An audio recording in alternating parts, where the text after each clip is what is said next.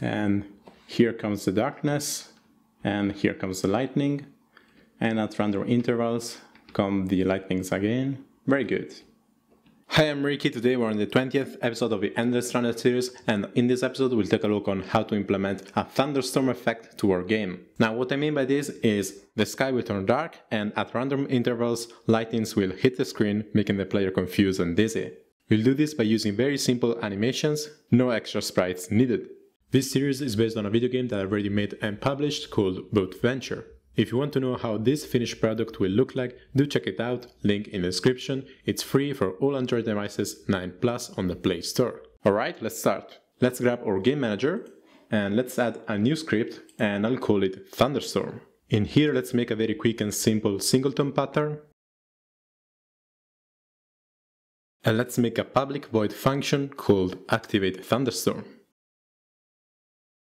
And I'm doing this so we can start linking our thunderstorm script to our game and then we actually think on how to make the thunderstorm. So let's grab our unlock enemies manager and in here we'll call the thunderstorm. In my case I'll add it after the fifth enemy. So basically I want the thunderstorm to be activated as the last enemies of the ones that we've made before. Of course you can choose and activate the thunderstorm right at the start of the game or whenever you want to anyway. But anyway, this is how we have linked the effect. Now let's go and make it for real. In here we want to do two things. The first is to make the sky look darker, and the second is to fire at random intervals some lightning. Let's turn the sky dark first. Let's make a reference to an animator. And in our activate thunderstorm function, we just call the animator and play a specific animation. Of course, we haven't made that animation yet, so let's go and make it. In Unity, let's select our canvas and let's go into our game panel. In here, let's make a new panel and let's put it at the top. As you may have guessed, instead of making everything darker through a Unity effect, so a render pipeline, we're actually going to use just a simple panel. How we do this is very simple. We just make a new panel and then we change the color to a very dark blue and we change the alpha. Let me disable the shop panel real quick and here you can see the effect. What we want to do is at the start we set the panel to alpha 0 and then when we activate the night effect we just put it to 110 say. Another thing I want to do is change the source image.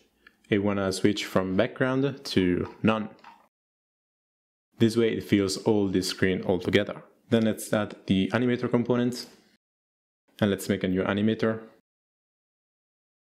Let's add it and let's make a new animation and the name of the clip of course has to be the same of the one in the script. So fade in night.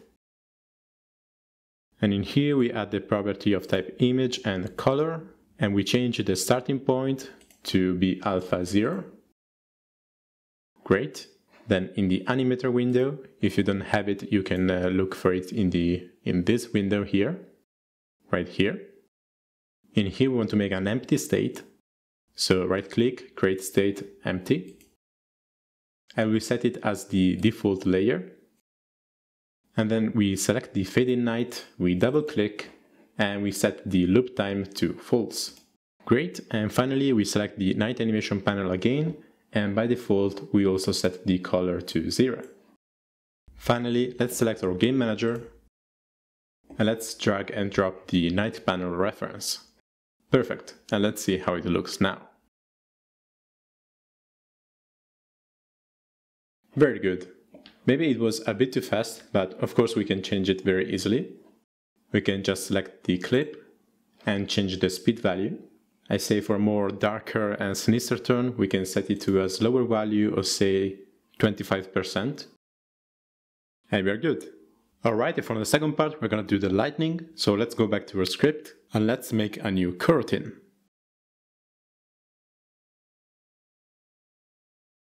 And remember to add the system collections library. Now, in this coroutine, we want to cast a lightning every once in a while.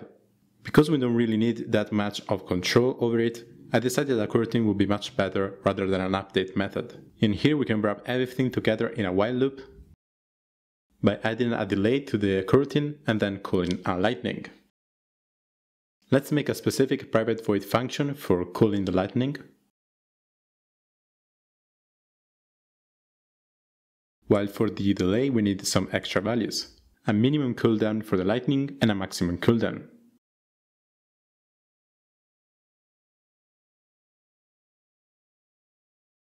Now when we want to get a delay in our coroutine, we make a new float value on the fly that is a random value in between the two float values that we just made.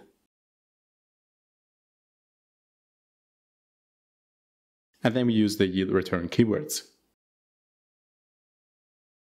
And we're going to call this coroutine in the activate thunderstorm function. Good. Now to actually cast a lightning, we're going to use something very similar to the night panel that is a lightning panel, but with a different type of animation. So first, let's make a reference to a new lightning panel. And then in our cast lightning function, we're just gonna call that animator and play a specific animation. I've called the animation lightning, of course we haven't made it yet, but we'll get to it. The reason why I've decided to put this bit of code in a different function than just calling it here it's because in here you might also add some extra effects, like for example, an audio effect and a camera shake. I don't really like a camera shake effect for the thunderstorm, but it's something that you can look through maybe in another episode. While for the audio effect, it's really easy. I've already made an episode about audio in this Endless Runner series. To add an audio effect in here, you have two options. The first one is grabbing the audio manager in here you add the singleton pattern and then you just call the play clip by name function and you pass in through a string. The other way that you can play an audio clip in the Runner series is to add a Unity event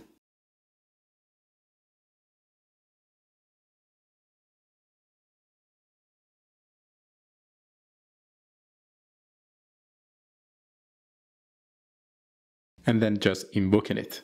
Of course, this isn't part of the Thunderstorm per se, but I just wanted to show you some functionality that you may want to add. For now, I'm just going to remove it. In the future, I may make an episode totally dedicated to adding sound effects to the game. We'll see about that. And maybe another episode on how to make a camera shake, although it's really easy and there are a lot of tutorials already online. Alright, but we still have to finish our thunderstorm, we still have to make the lightning animation. So let's go back to Unity Let's duplicate the night animation panel and make sure to put it right below the night animation panel. Now let's make a new animator and let's feed it to the new lightning animation panel. Let's make a new clip and let's make a new empty clip. Set it as layer default and then change the lightning transition to empty. This way, by default, nothing will happen when the thunderstorm goes on, but then when we call the lightning, the lightning effect will trigger, and when it ends, it goes back to empty. Let's also double click on the lightning clip to toggle off the loop time. And now let's actually make the lightning clip. Remember to select the lightning animation panel, and in here we just need to add property of type color. I'm just going to change the color to a very bright yellow something like this. I'm gonna set this color and then in the animation, when I'm at the frame, uh, let's say three, I'm gonna add a new keyframe. I'm gonna hit record and pass that color. Then in the animation clip, you can see that I made a mistake in the color. So I'm just gonna delete this keyframe, delete this one too, and I'm gonna put them back in. Okay, you can see that now the whole animation is of that color. And then at the start, I'm gonna hit record and put the alpha to zero. And I'm gonna do the same at the end. I'm also gonna add, let's say, two frames where the color stays at the 100%. So I'm gonna put another keyframe and set the alpha to the maximum. And this way we should get a nice lightning effect. I like it to be one second long, but of course you can change it however you want. And make sure that by default the lightning animation panel has a alpha of 0. Finally, let's grab our game manager and let's drag and drop the new animator. Great, and let's see how it actually looks in action. And here comes the darkness, and here comes the lightning, and at random intervals come the lightnings again. Very good. We can also add sound effects if we want to. Perfect. Alright, so that's it for this video. I hope you've learned something new. If you have any doubts about the code or any suggestions about the next topic, do tell me in the comments. If you like this content and you want more, please like and subscribe. In the next episode we'll make a new item, a net that will obstruct an enemy or kill him, but only if it's an animal type of enemy. So it won't work on rocks and whirlwinds, but it will work on octopi and sharks. We'll also make it so that the player will occasionally grab a few extra nets throughout its gameplay if he collects a bonus, so if he collects a certain amount of coins in a row. Alright, so I'll see you in the next video.